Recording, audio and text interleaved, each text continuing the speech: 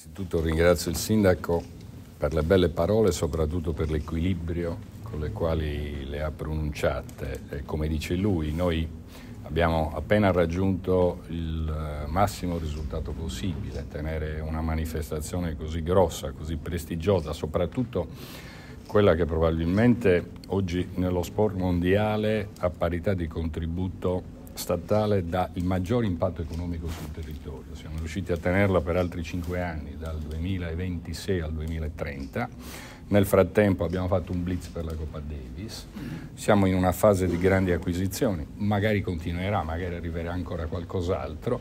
e quindi io credo che ci sia il modo sia per essere riconoscenti verso chi ci ha aiutato a, a, lanciare le ATP Final in Italia, che prima erano praticamente sconosciute,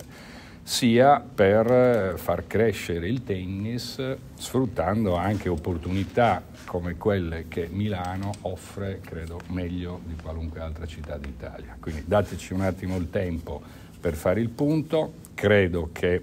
insieme al governo, che naturalmente è forse più interessato di noi su una vicenda del genere,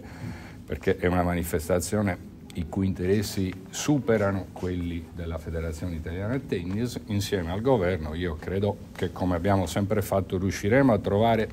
per il futuro una situazione equilibrata che mantenga tutte le grandi città d'Italia, a incominciare da Roma,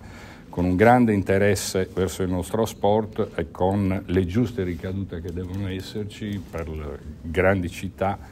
che hanno fatto in modo diverso la storia del nostro sport in Italia. Dateci un attimo il tempo di fermarci perché non ci siamo ancora fermati, troveremo una soluzione equilibrata, tenendo conto anche del fatto che sulla Coppa Davis noi abbiamo magari più margine di decisione, le ATP Final sono una manifestazione di sono la manifestazione più grande di proprietà dell'ATP. E quindi diciamo, possiamo naturalmente interloquire, però l'ultima parola spetta sempre all'ATP. Diciamo che non esclude la staffetta Milano-Torino e troppo. Guardi, in questo momento io non escludo niente, anche sulla Coppa Davis sono venute ieri fuori le ipotesi più fantasiose, ma io in questo momento sto facendo gli acquisti, le vendite, dopo che porto a casa tutto ci penserò. Eh, naturalmente la discriminante, eh, soprattutto per la Coppa Davis, è un palazzetto che abbia diciamo, almeno 8.000 spettatori, in Italia mi sembra che ce ne sono 7-8,